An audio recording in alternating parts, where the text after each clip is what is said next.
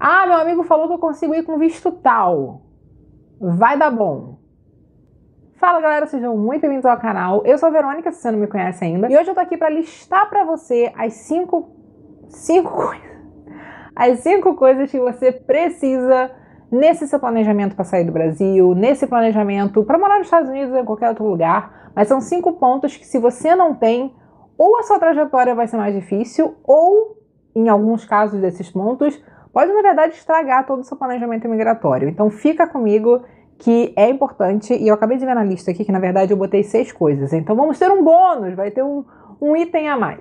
A primeira coisa que você precisa é clareza. Tá, do que, Verônica? Então, clareza do seu porquê. Por que, que você está saindo do Brasil? Por que, que você vai fazer todo esse rolê? Largar a galera que você conhece, largar os lugares que você vai, renascer no exterior. O, o que, que te motiva? E, assim, tentem achar o seu porquê e não o porquê dos outros ou o porquê que todo mundo fala, sabe? Tenta ver o que a dor, o que que dói em você em não sair do Brasil, o que que é, vai te custar, porque sair do Brasil custa, tanto financeiramente como emocionalmente. Ser imigrante é difícil. Se alguém te falou o contrário, sim, não quero chamar ninguém de mentiroso, mas porque é difícil. É inerente da vida do imigrante a dificuldade. Vale a pena? Vale. Mas você precisa saber do seu porquê, porque na hora que, que, que bater, sabe, que a água bater na bunda, você precisa ter aquilo muito claro para você se agarrar naquilo e continuar indo, sabe? E continuar a sua trajetória de imigrante apesar das dificuldades. Um outro motivo que a clareza é muito importante é que imigrar é um planejamento de médio prazo, de curto para médio prazo, dependendo aí da situação de cada um, do planejamento do país, etc. E eu não sei você, mas eu sou uma pessoa que eu tenho muita dificuldade com metas a médio prazo, porque eu sou uma pessoa muito imediatista, eu quero tudo para ontem. Então, quando você tá aí, às vezes, sei lá, vou juntar dinheiro, pô, mas só daqui cinco anos, cara. A tua recompensa parece que está muito longe. Então, quando você tem o seu porquê ali muito claro, você tem mais facilidade de você se agarrar naquilo e continuar, tanto com planejamento ou na dificuldade de vida de imigrante, apesar das dificuldades. Então confie em mim, clareza é tudo. O segundo passo é ser pé no chão. Como eu disse, vida de imigrante é difícil. E apesar de, ah, ser pé no chão é algo óbvio, muita gente não é. Muita gente, quando. É, eu sou uma pessoa que, que prezo muito pelo planejamento, pela organização, porque eu acho que se a gente planeja, a chance das coisas darem errado é um pouco menor. Ou muito menor, depende né, do seu planejamento. Mas ajuda a minimizar surpresas, ou coisas darem errado, enfim. E eu sinto que tem uma galera que quer sair do Brasil que quer vir na doida, tá, tá achando que migrar é viagem. E não é, sabe? É uma viagem? É. Mas tem muito mais é, na, na, no imigrar que apenas conhecer um lugar novo. E ai que legal, tudo é barato. Não, não é só isso. Então você tem que vir pé no chão. É, ler uma coisa que, ah, nossa, isso aqui vai ser tão difícil e complicado. Calma, aceita que é a realidade do país, sabe? acho que isso é muito importante, porque muita gente reclama que, ah, mas no Brasil não é assim. Mas você quer sair do Brasil, então você tem que aceitar como as coisas funcionam no outro país. Se X e Y é difícil naquele país, aceita e funciona e, e trabalha com isso, entende como funciona para você transitar melhor, ou então escolhe outro país. Por exemplo, saúde nos Estados Unidos.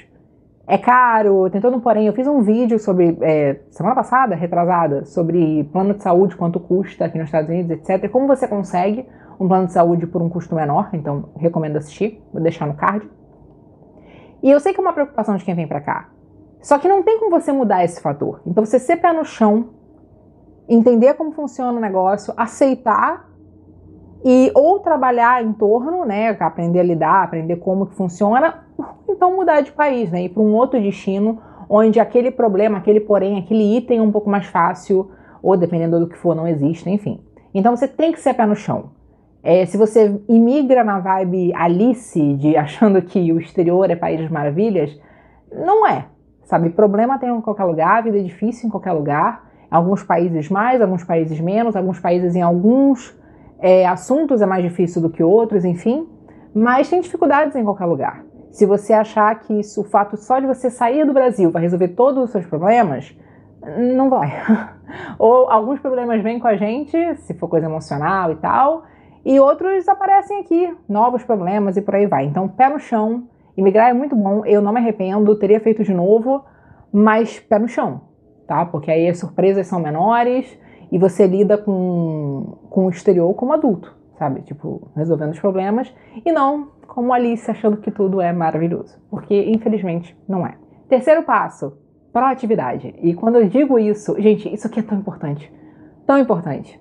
É, eu estou querendo dizer proatividade em relação à pesquisa. E por que, que eu estou falando isso? Eu recebo muita mensagem no Instagram e alguns comentários aqui no YouTube que às vezes uma busca no meu canal achava o vídeo. Ou então, às vezes, a informação está no próprio vídeo que a pessoa não assistiu ainda. Ou então são perguntas super simples que um Google básico ia achar informação.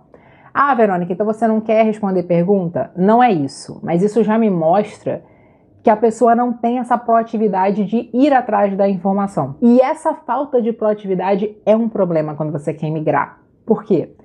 E você pode contratar todo mundo para fazer seu plano americano. Você pode contratar alguém para fazer o planejamento migratório, você pode contratar alguém para fazer o planejamento financeiro, você pode contratar um despachante para fazer o rolê do visto, você pode contratar alguém para tudo.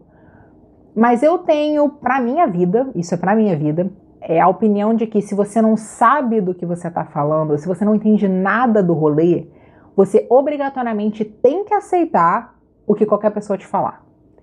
E em paralelo a isso, você também está mais na mão da pessoa, porque você não. Primeiro que você não vai ter como argumentar, você não vai ter base para saber se estão te passando para trás e por aí vai. É, então, para mim, eu acho muito complicado uma pessoa que não quer perder tempo pesquisando, buscando informação e quer imigrar. Porque quando você está aqui no exterior, principalmente aqui nos Estados Unidos, eu não sei como funciona, por exemplo, a Europa, mas aqui nos Estados Unidos, pouquíssimas coisas eu resolvo pessoalmente. E sendo muito sincera, das coisas que eu resolvo da minha casa, 90% é no site. Tem muitas coisas aqui que às vezes eu ligo para tentar resolver pelo telefone. É, às vezes consigo, mas até tu conseguir um atendente é um milhão de botão que você tem que apertar. E as primeiras mensagens são sempre: tem informação no nosso site, tem informação no nosso site, tem informação no nosso site. E tem empresa que não atende por telefone, não, sabe? Você vai ter que resolver no site, você tem que buscar perguntas frequentes, ou vai ter que buscar como funciona e por aí vai. É, o vai lá para resolver pessoalmente, aqui nos Estados Unidos, ainda mais depois da pandemia, não é rotineiro, não. Pelo menos não aonde eu moro. E pelo menos não nas coisas que eu lido, tenho, enfim. Então, infelizmente, se você quer migrar, você precisa um pouco de uma proatividade para pesquisar informação, para mandar e-mail, sabe?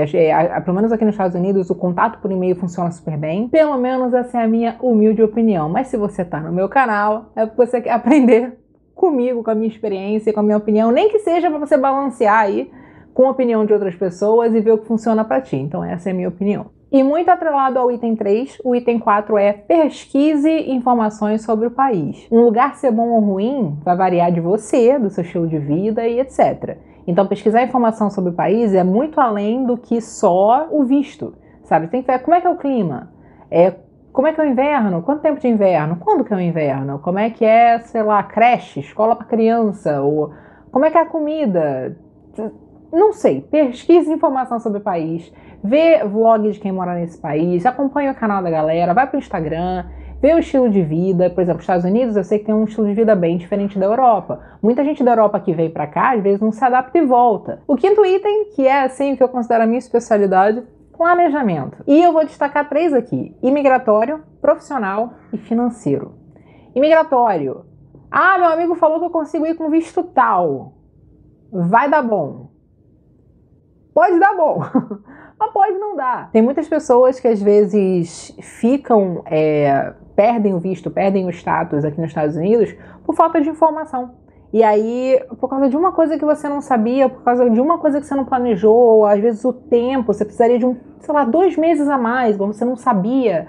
É, você pesquisar isso tudo do Brasil é muito melhor do que você já tá aqui e meio que tá perdendo tempo, entende? Então, o planejamento imigratório, você saber qual visto você pode, quanto tempo, como transitar de um visto para o outro, etc, etc e tal, é muito importante, ainda mais aqui nos Estados Unidos, onde as informações do site estão ali, mas levam um tempo para você aprender a navegar. Eles não são tão claros assim, enfim. Então, consulta com, com advogado de imigração, com profissional de imigração é essencial para qualquer planejamento migratório, para qualquer país. O segundo planejamento profissional e aqui, de novo, eu vou frisar o que eu já frisei. Não é porque no Brasil é de uma forma que no exterior também é, tá? É, aqui nos Estados Unidos as profissões é, elas funcionam muito diferentes. Requisito, trajetória acadêmica é muito diferente. Então, se você não entende, não aprende como funciona no exterior, a chance de você ir achando que vai ser fácil ou simples a transição é, e aí chega lá e tem um caminho enorme para percorrer que você não estava muito disposto a percorrer, mas você não sabia que ia ter que enfrentar, é grande, tá? Eu tô pensando em fazer uma live no Instagram só sobre transição profissional, então se você tem interesse, deixa aqui nos comentários, que eu vejo se eu faço, põe no calendário de, de lives. Mas a trajetória profissional, ela é uma das mais longas quando você chega é, aqui no exterior. É, para algumas profissões mais, para algumas profissões menos, mas é sempre um percalço. Então, você já saber como vai ser, pelo menos ter uma ideia desde o Brasil, é essencial. E por último, planejamento financeiro, porque não é só a grana para você sair do país, é a grana para você se manter no início. Então, tem muita coisa para contabilizar. É, educação financeira não é algo que eu sinto que as pessoas. É, talvez agora estejam tendo mais, não sei, mas eu não sinto que a minha geração teve, ou pelo menos eu não, não tive tanto, e eu não via outras pessoas terem também. Então, super essencial. Façam seus, seus planejamentos, vejam se você precisa de mais algum outro planejamento, se você tem filhos, etc. Porque planejar é uma forma de você minimizar, pelo menos um pouco, a chance de você se. A última, o bônus, né, que você vai precisar ter é paciência. Como eu disse, o planejamento migratório é curto a médio prazo, a maioria das pessoas vai para o médio prazo. Então é algo que leva tempo. Depois que você chega aqui, você também tem uma trajetória para trilhar. O planejamento imigratório não termina quando você chega no país, você tem aí o início da sua vida de imigrante. As coisas levam tempo, então passe... eu tive que aprender isso na marra, que ser paciente, etc, porque eu não sou, né? Não era. Tô muito melhor agora, mas tive que aprender muito porque a vida me forçou a ser paciente. E é assim mesmo. Eu vim pelo, por um intercâmbio, eu planejei meu intercâmbio por três anos. Eu moro nos Estados Unidos hoje há quatro anos, então só esse já vai sete anos. Tem gente que vai mais rápido, tem gente que demora mais. O que eu tô tentando frisar aqui é que tem que ser paciente, que algumas coisas levam tempo, mas eu não me arrependo. E se você tem um sonho de migrar, eu não, não vejo por que você ignorar esse sonho ou nem ao menos tentar, sabe? Tenta porque se é o que você quer, vale a pena, mas tem que ter paciência. E é isso, gente. Se inscreve aqui no canal se você gostou desse vídeo. Tem muito vídeo sobre os Estados Unidos aqui. Eu faço muito conteúdo informativo, técnico, que você precisa saber. Então dá uma olhada no meu canal. E me segue no Instagram, porque lá também tem conteúdo sobre os Estados Unidos. Tem eu nos stories, você consegue ver um pouquinho da minha vida. E é isso, gente. Um beijo e até o próximo vídeo.